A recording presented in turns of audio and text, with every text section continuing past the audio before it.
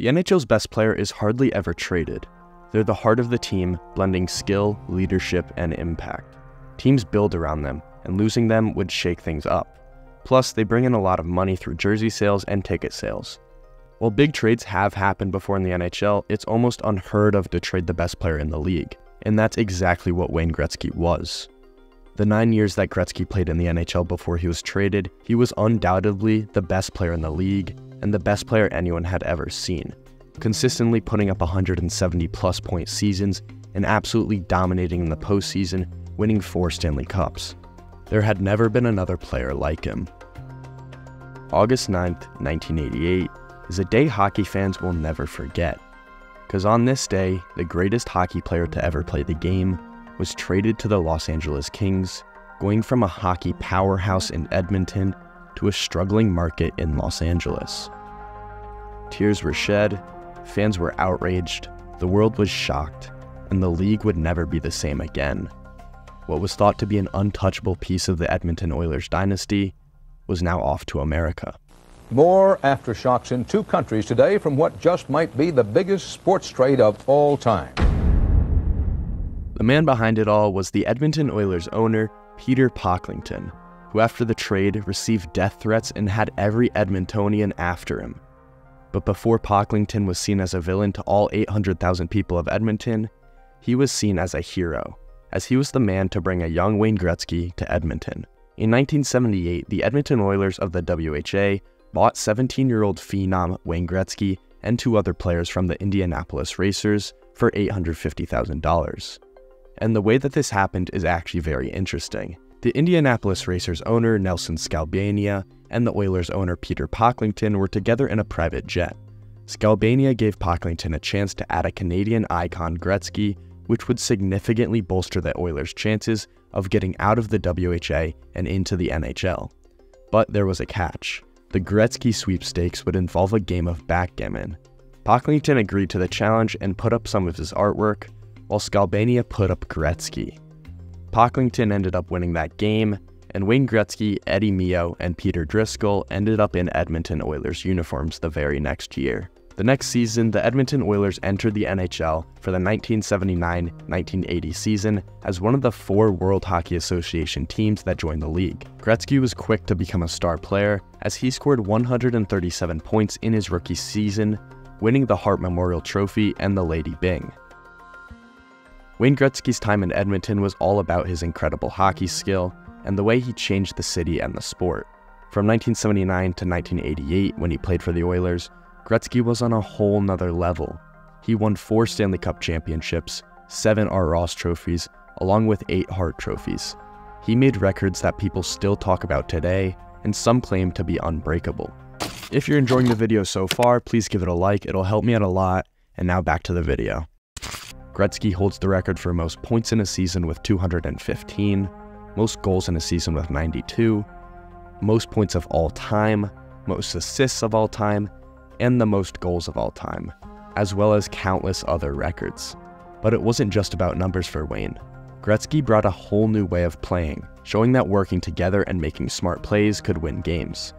Not only is he known as the greatest player of all time, he's known as one of the most respectful and courteous players of all time. He made Edmonton a real hockey city, making everyone proud and claiming Gretzky as their adopted son. He transcended being just a player for the Oilers as he became a true hero for the city of Edmonton. His influence extended well beyond his performance on the ice, which is why the events that occurred on August 9, 1988 were even more astonishing and unexpected. That I announce and I guess more important confirm that the Edmonton Oilers have agreed to trade Wayne Gretzky to Los Angeles.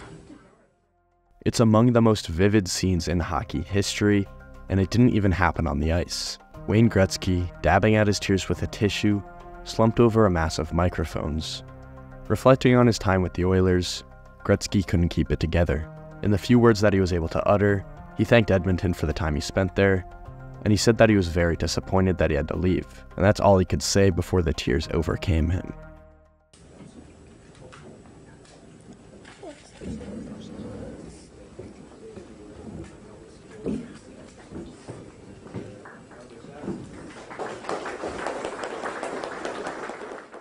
But when Wayne Gretzky made the move to the LA Kings, the media couldn't get enough of it. The coverage was everywhere, showing how big a deal it was. Gretzky was getting his own TV show, commercials, brand deals, and even featured on the cover of Sports Illustrated with one of the biggest athletes in America.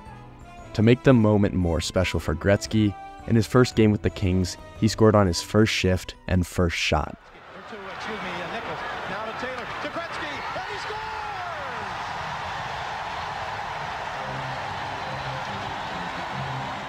Gretzky's immediate success on the ice made the Kings a national spectacle.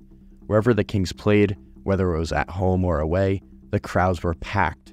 Every game was a sold out event, just to see the greatest player in hockey.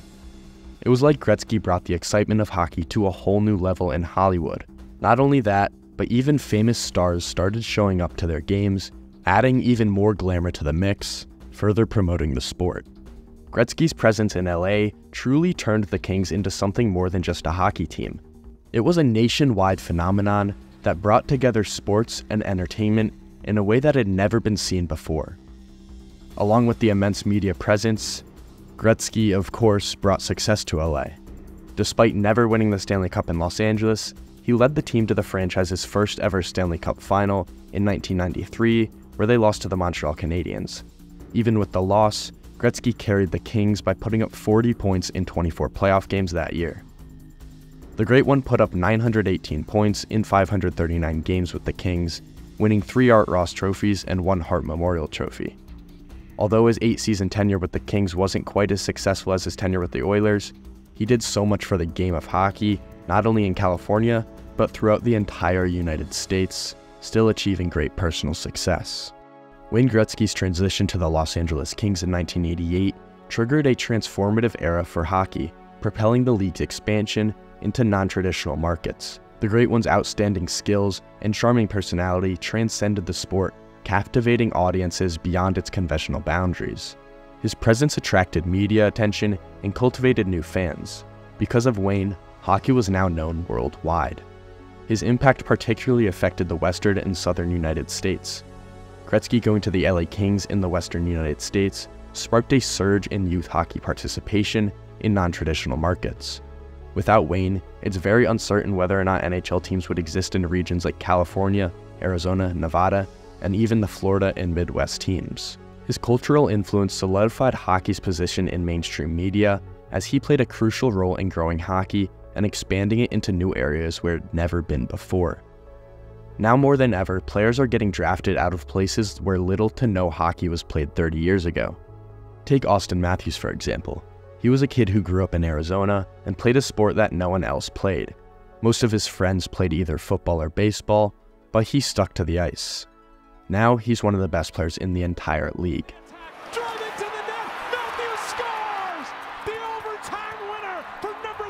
Gretzky's move went far beyond just a trade it created a legacy that still impacts the NHL today. His influence can be seen in how the sport grew and how he inspired new talent to rise in new places. His journey shows how just one person's influence can truly make a big difference.